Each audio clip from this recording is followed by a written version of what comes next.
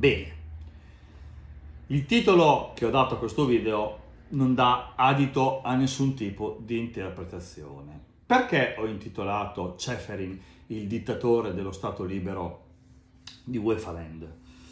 Perché se lui avesse i baffetti, mm, anziché la barbetta incolta, se avesse i baffetti, ricorderebbe qualcuno che negli anni 40-50 ha fatto dei grossi danni, eh? dei grossi danni al mondo e soprattutto ad alcune etnie. Questo non fa cose contro l'umanità, per modo di dire, perché se andiamo a guardare bene il mondiale del Qatar con tutte le persone morte per la costruzione degli stadi, qualche domandina dovremmo farcela.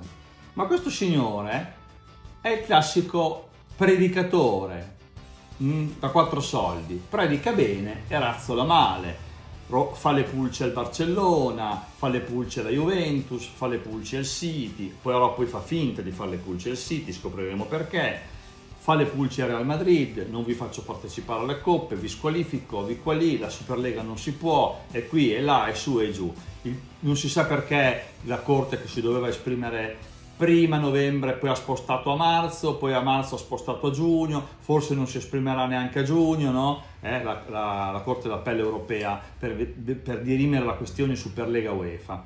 Nel frattempo, nel frattempo salta fuori la magagna, ovvero che nella Serie B del Belgio una squadretta piccolina dice che ci sono squadre che competono con lei che sono state sovvenzionate con capitali esteri non regolari.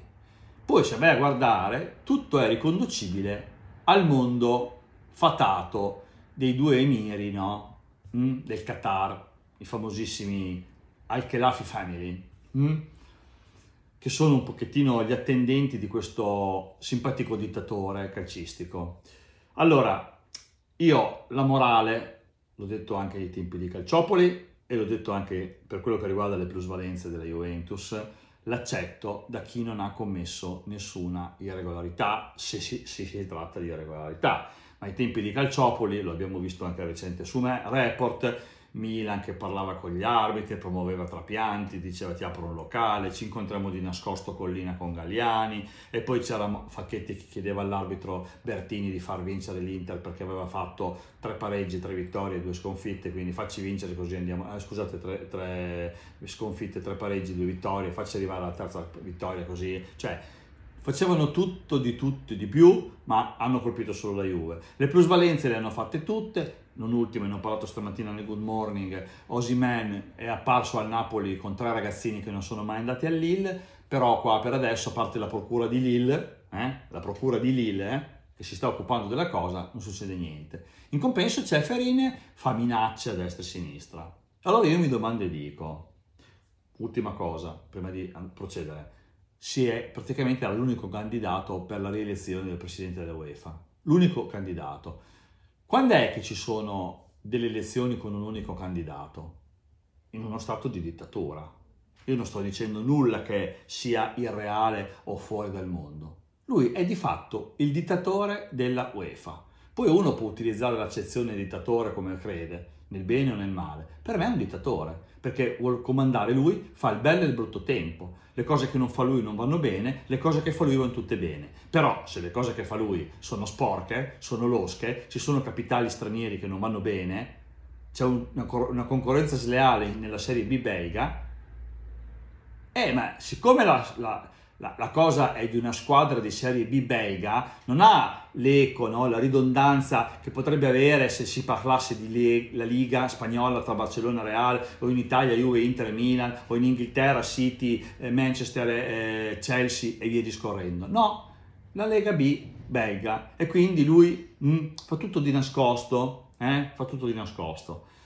Io dico che secondo me nel calcio moderno ci vorrebbero personaggi onesti, personaggi puliti. Hanno fatto le pulci a Blatter e a Platini, che sicuramente qualche cosa di sbagliato hanno fatto, perché non esiste che quando uno in un, in un regno di potere non fa nulla per proprio interesse, per proprio tornaconto. Ma questo, signori, è peggio di Blatter, è è veramente peggio di Blatter, è peggio di, di, chiunque ci sia mai stato prima. Questo è uno che si fa gli affari suoi, i suoi interessi, non si sa come abbia fatto ad arrivare al potere, ma probabilmente qualche sospetto ce l'ho. E io vi dico sempre di guardare negli emiri che hanno i soldi che gli escono quando aprono il rubinetto o tirano l'acqua del water. Per cui io la morale da Alexander Ceferin non me la faccio fare. Questo signore, secondo me, lasciatevelo dire, è il male, è uno dei tanti mali del calcio. Il calcio è malato, lo sappiamo tutti, lo vediamo con i diritti televisivi sballati, lo vediamo con eh, le plusvalenze che non sono regolamentate, lo vediamo col discorso che lo Stato dice di spalmare gli stipendi, poi però ti vanno a fare un'inchiesta se tu spalmi gli stipendi, lo vediamo dal fatto che sono, eh, non c'è la possibilità di creare un torneo parallelo uscendo dalla UEFA facendo una cosa nuova e quindi c'è qualcosa, come diceva il buon Shakespeare, c'è qualcosa di marcio in Danimarca, ma non solo in Danimarca, nella UEFA, nella fattispecie il dittatore dello Stato libero, si fa per dire, di UEFA Land. Ciao a tutti.